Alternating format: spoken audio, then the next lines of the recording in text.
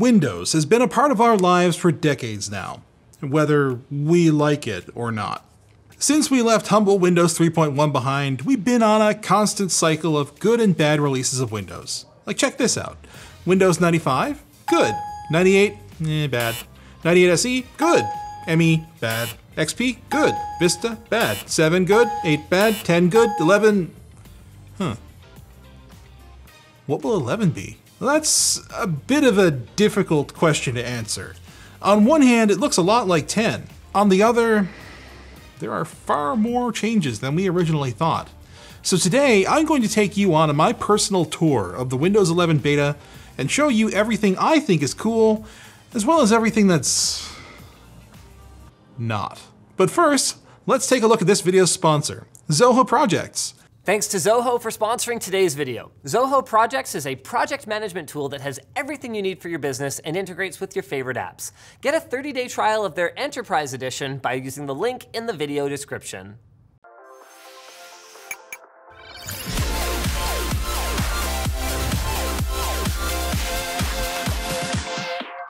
Sure, most of the changes in Windows 11 appear superficial, and in many ways they are. But when there are enough superficial changes, eventually that coalesces into something much bigger. So let's talk UI. Our first look at the updated Fluent UI was a very incomplete one, and while that old leak did have the fancy new rounded window corners, it was running in a virtual machine, and not only was the performance bad, the UI clearly still resembled Windows 10. Not so much anymore. The start menu is significantly more polished now, and far from laggy. Search, which has a dedicated bar in the start menu now, is ridiculously quick, so no waiting a second or two for Windows to catch up with what you typed. It's pretty much instantaneous. The dedicated space for pinned and recommended apps hasn't changed, and now that live tiles are gone, it should make pinning apps a lot more straightforward than it used to be in Windows 8 and onward. I swear I've seen this menu layout in Linux before though. Uh, in case you don't like it, there are already third-party replacements popping up, so don't worry too much about that. Anyway, the All Apps button on the top right brings you to an alphabetical listing of all the apps on your system, just like the Start menu does by default today. Folders, at least for now, still seem to work as they do in Windows 10, but Microsoft says that they're going to be removing folders entirely from the Start menu for the final release. The taskbar itself, yes, it's centered. However, you can change that by right-clicking on it and clicking on Taskbar Settings.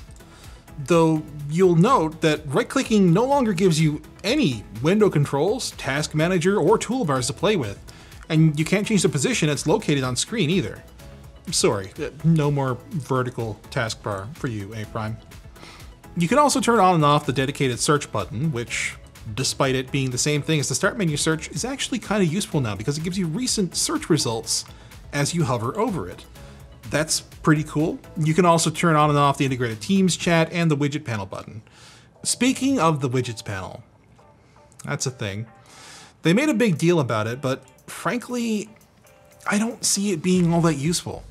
By default, you've got your weather, your money, your sports, and your news, but I'd hazard to guess that most people aren't using Microsoft services for those. There doesn't seem to be a way to personalize it outside of Microsoft services. Uh, there's no there's no widget store. So basically, the only way to manage your news or interests is to go to MSN.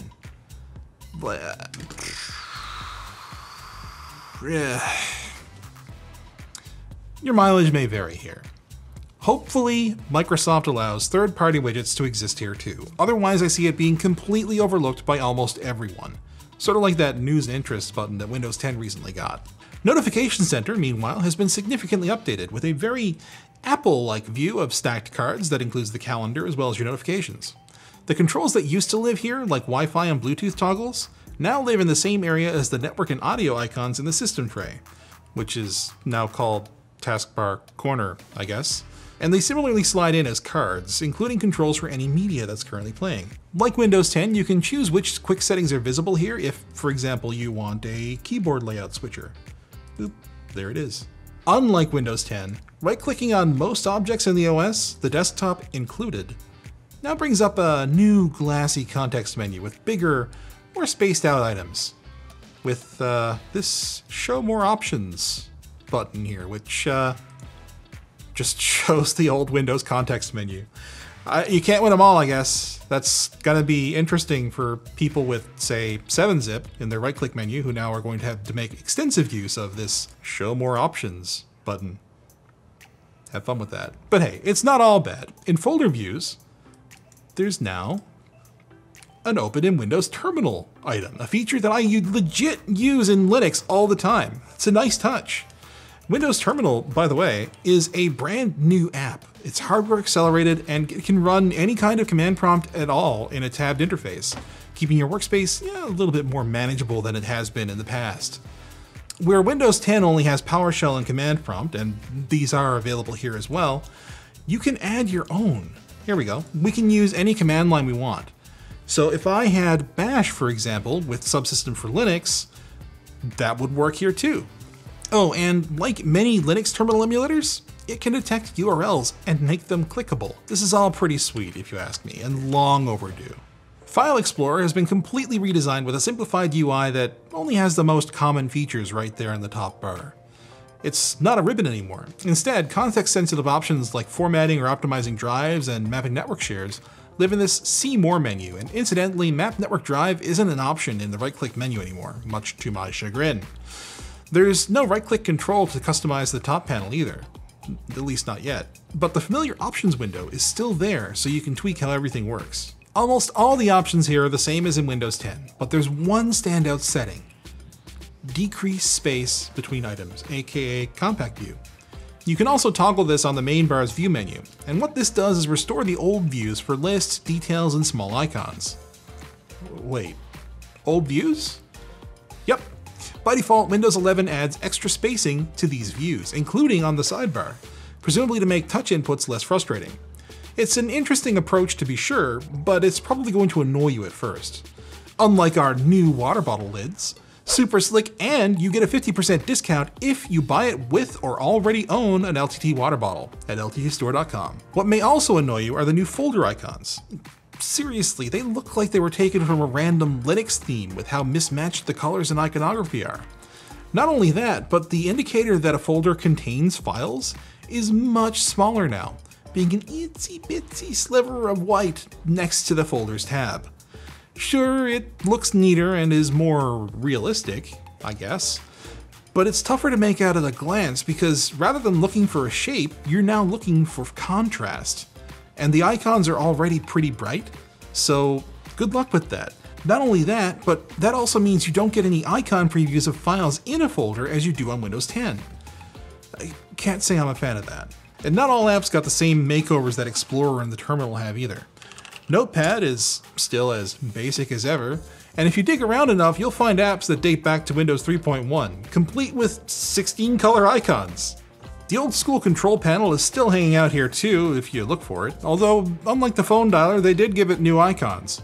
To Microsoft's credit, there's more functionality in the new Settings app than ever before, so chances are you won't need to dig through the old control panel as often as you used to.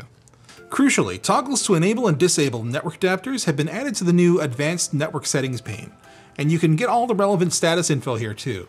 It still opens up the old school network connections window if you need to make any changes to the adapters themselves though, or do anything fancy like bridging. There are a few other goodies in here, like being able to restrict app access to download folders, as well as all the existing controls for documents, pictures, etc. And all of this is laid out in a much easier to navigate selection of submenus than the sometimes labyrinthine settings menu in Windows 10. It's still there, it's just a lot easier to navigate IMO. Even the system overview, that frankly isn't that useful in Windows 10, got an overhaul, now showing you the status of Office 365, OneDrive, and Windows Update. The display section got a significant overhaul too. Now, multiple displays are hidden behind a menu rather than having the display arrangement panel front and center, like if you have a single monitor, why do you need it? Scale and resolution are higher up on the list of most items, although I would prefer the refresh rate to be adjustable here too, rather than being hidden under the advanced display settings. To be fair, I guess for most people that really is an advanced setting, so I guess I'll give it a pass. HDR though? That has its own section that comes before all the others. No longer a little link hidden among all the other stuff. The menu itself isn't significantly different, but it does include the Auto HDR setting, which we'll get to later. For now, if we go back to the Advanced Display Settings pane, you'll see that Microsoft has added lines about the HDR certification and peak brightness of your display. Which is such a nice quality of life thing for troubleshooting. It really feels like HDR is finally becoming a first class feature, and it's about time. Come on, Linux, time to pick up the pace. It's not to say that all the settings app changes are good. Changing your default browser has become significantly more difficult now, with the removal of common app types like web browsers, mail readers, and media players. Instead, now you have to change the handler for every link type and file type individually, which. Oh. Microsoft, buddy, listen. This used to be a criticism of Linux.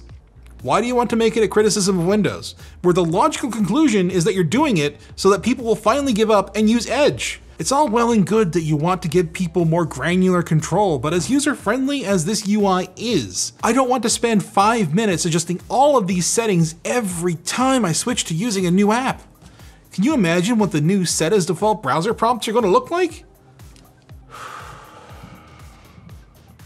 Speaking of imagining how things look, while using Windows 11, one of the things you'll notice is that even apps that aren't designed around Windows 11's rounded corners design, well, they've got rounded corners. Even things with custom skins like Steam. This hasn't been a problem for me yet, but I guess we'll have to see if it reacts poorly to certain types of windows like skinned media players, for example. What? People still use those, right? Windows 11 is less consistent with other design elements though. It's still jarring to be in dark mode and load up a classic app like Notepad or Device Manager and see that it's still using the old school Windows UI where even the title bar doesn't fit the new look. At least touch users should appreciate how much easier it is to drag stuff around thanks to the larger touch targets, as well as the new touchscreen gestures and better auto rotation with snap windows. The new touch keyboard resembles most mobile keyboards in both standard and small modes, right down to the emoji and tenor GIF button. Interestingly, there's also classic emotes in Kaomoji here, though while categorized, these aren't searchable like emoji are. Man, these classic ASCII emoticons bring back memories. Oh, well, what's this? Holy balls. This video's gone on for how long and I've only talked about the new UI? See what I mean about lots of superficial changes coming together to make something much more substantial? The crazy part is I'm not even done yet. Virtual desktops got a lot of love, and you can set them up almost as completely different workspaces with unique wallpaper and snap layouts. But what are snap layouts? These let you create window layouts like how you've been able to do since Windows 7, but with far more flexibility than we've seen to date. And, thanks to the Snap Groups feature, these layouts can be saved and restored when you connect an external display, for example. Snap Groups keep these layouts in a single place on the taskbar so it can be minimized and maximized wholesale, you can kick this whole process off by either dragging your window to the side of the screen as usual, or by hovering over a Windows Maximize button and selecting a layout. You need a 1920 pixel wide display in order to access these triple snap layouts, but overall this whole feature set is a serious improvement for not just laptop users, but anyone whose desktop layout randomly shifts when their monitors go to sleep. Like mine. My workstation's monitors do that to me, all the time. I use a program called Sizer to shuffle windows around, but this could mean I no longer need it. Now all I need is alt dragging integrated into Windows. I can dream, right? Overall though, the UI feels much smoother and more responsive than Windows 10, and a lot of that probably boils down to faster, smoother animations, particularly in modern UI apps. But even something as small as launching File Explorer feels more responsive than it does on Windows 10. And aside from potential optimizations under the hood and what Microsoft calls a new storage stack, my suspicion is that Windows 11 is leaning on its heavier RAM requirement in order to more aggressively cache recently and frequently used programs. I don't have any solid proof of this, however. Now let's talk new features. Running Android apps is the big one many people are looking forward to, but unfortunately I've got nothing to tell you about them because they haven't been enabled in Windows 11 yet. Not even by downloading the APK files manually, I, I did try. The Microsoft Store looks pretty much like it does in Windows 10 right now, so presumably once that gets updated, we'll be able to get a peek at how this all will work. For now, we'll just have to hurry up and wait, I suppose. The other big headliner feature is Direct Storage, although it's no longer Windows 11 exclusive. Direct Storage basically accelerates the loading of textures and assets into your graphics card's memory without having to bother with the CPU at all, so the CPU is free to do its own thing. It makes things a lot faster, or at least it should. We just don't know yet. What it will supposedly be in Windows 11 is faster than it will be on Windows 10 as a result of that new storage stack. Although, again, how this works in practice is anyone's guess because we don't have a baseline for how it runs on Windows 10 yet either. Once games support it, we'll be checking it out, so make sure you get subscribed so you don't miss it. There are some features we can test today, and the big one is Auto HDR. This debuted on the Xbox Series, and as the name suggests, this requires an HDR monitor and can automatically generate HDR metadata for SDR games running DirectX 11 or 12. It works by generating a heat map for high intensity pixels and translating that into extra brightness data that can be displayed as though it were HDR. The effect is honestly shockingly good. It doesn't crush blacks or blow out whites, and it doesn't feel like the color space is artificially extended. Like in some scenes, the HDR effect doesn't look any different from SDR at all.